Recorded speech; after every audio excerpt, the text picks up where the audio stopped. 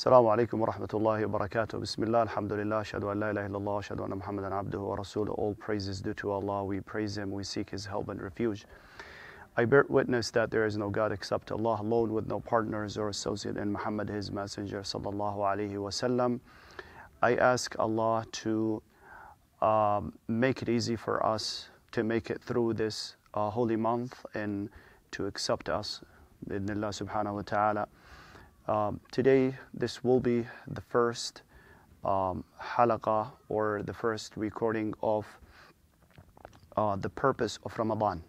We will have four, four of them.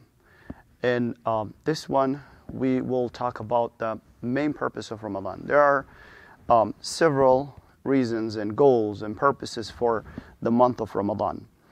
Uh, based on the Quran, Allah subhanahu wa ta'ala says in the interpretation of the meaning, O who you believed, decreed upon you is fasting as it was decreed upon those before you, that you may become righteous, or you might perform um, taqwa.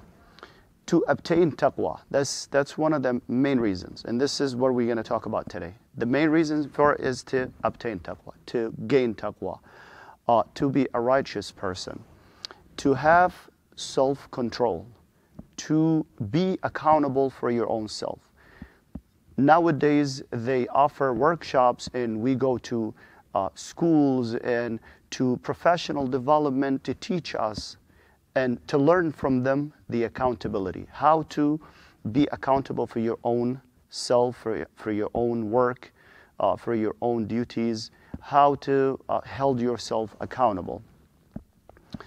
If you get to that level if you obtain the taqwa then you will be able to resist the wrongful desires and bad habits.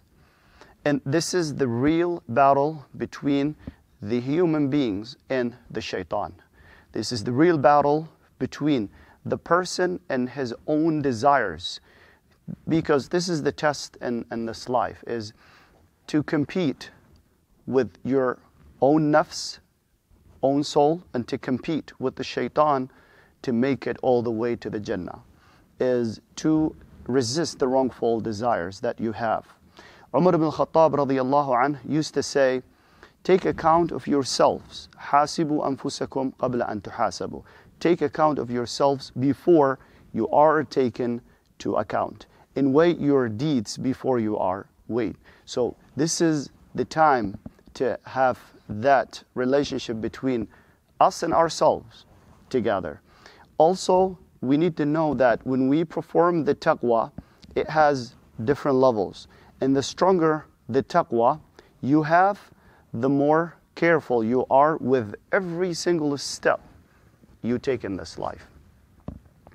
We always have to perform things. We, ha- we always have to do something in this life. We always have to better our life, our situations, but then we have to make decisions every single day actually every single day we can make several decisions.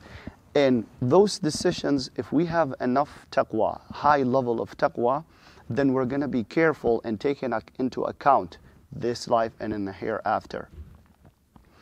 If you have a stronger taqwa then you will be careful with your relationships. What kind of relationships do you have? Are they halal or haram? What do you do with your friends? Do you do you have uh, uh, friendships that will uh, lead you to Jannah, or is it the opposite? Um, how do you deal with your parents? Are you obedient? Do you listen to them? You not you don't listen to them. This is all goes back to level of taqwa. If your level of taqwa is high, then uh, uh, you will perform better. Also, how do you deal with something that doesn't belong to you? For example, you see something in the street, you see something, uh, you deal with um, ownership of others when you're at work, when you're at school.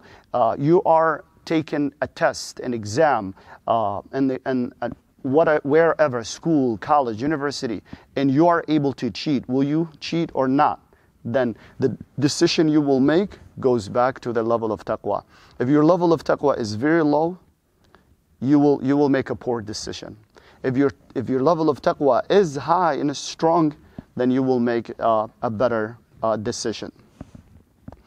And also, it, to make it clear, the Prophet Muhammad sallallahu alaihi wasallam, one of the nights, he he he was rolling in his uh, bed where he used to sleep at, and then he felt something um, wet underneath him. He reached it and he grabbed it. He found it a piece of date, it's tamra, and he was so hungry during that time. And when he was he wanted to eat it, he thought about it twice, and he stopped. And then when he was asked, he said, "I was afraid that it will be uh, from the tamr of the charity. كنت أخشى أن تكون من تمر الصدقة. That's how careful. Even though he was, sallallahu wasallam, he was so hungry during that time. But his taqwa is very high level in his, in his heart. So he had to think about it twice. He had to take his, himself into account before uh, he regretted it later on. So, as a conclusion, the higher the taqwa, the better person you are. And this is the month that we need to perform the taqwa We need to go back to ourselves and, and ask ourselves several questions. We tried to make it better during this month. This is just as a theoretical point, but inshallah, with the next lessons, we will talk about practical ones. هذا وصلى الله على سيدنا محمد وأسأل الله أن يتقبل منا ومنكم صالح الأعمال والسلام عليكم ورحمة الله وبركاته